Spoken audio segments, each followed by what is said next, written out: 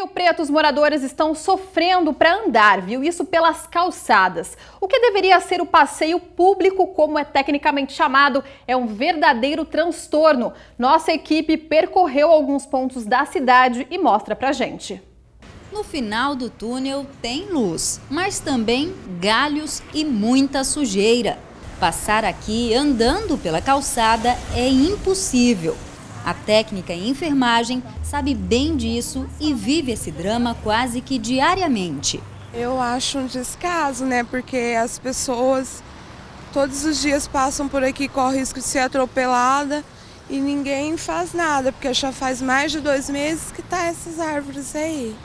Na zona norte, leste, oeste da cidade, o que não faltam são exemplos de calçadas onde o pedestre enfrenta problemas para atravessar Seja mato, entulho ou lixo, falta espaço seguro por onde caminhar.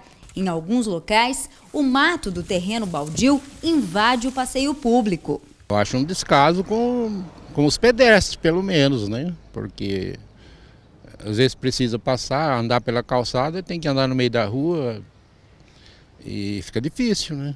Por conta dessa situação, a APC, Associação de Proteção à Cidadania, ingressou com uma ação na Justiça para que a Prefeitura de Rio Preto tome as providências devidas. Nós temos uh, vários terrenos no município sem calçadas. E esses terrenos são do município, do município São José do Rio Preto, e precisam ser construídos. Isso traz um grande risco à saúde, à vida das pessoas que, sem a calçada, precisam usar a rua ou a avenida para transitar, colocando em risco as suas vidas ou a sua saúde.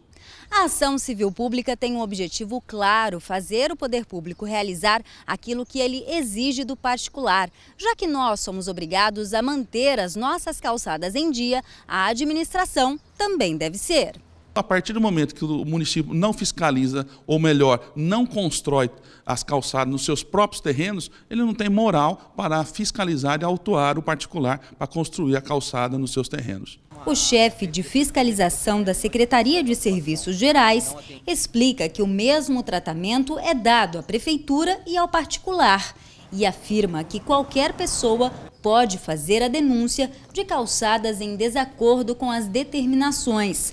A multa para quem descumprir a legislação pode chegar a R$ 121,22. Nós podemos receber é, a denúncia né, pelo, pelo morador vizinho, é, dando o endereço para nós e a prefeitura tem um setor de limpeza que faz essa manutenção. Existem muitas áreas públicas, porém a prefeitura tem intensificado cada vez mais. Tá? Demora um pouquinho o prazo para limpeza, mas tem intensificado limpando os passeios públicos sim. Só neste ano já foram mais de 3.300 notificações. Aos moradores, resta tomar cuidado quando passar por uma delas. A única calçada que tem essa aqui tudo quebrada, não, eles não mandam arrumar. Aí se a gente andar na calça, esse cara cai num buraco os pés, que aí esse cara quebra o pé. Bom, o telefone para denúncias da Secretaria de Serviços Gerais de Rio Preto é o 17 3212 6310.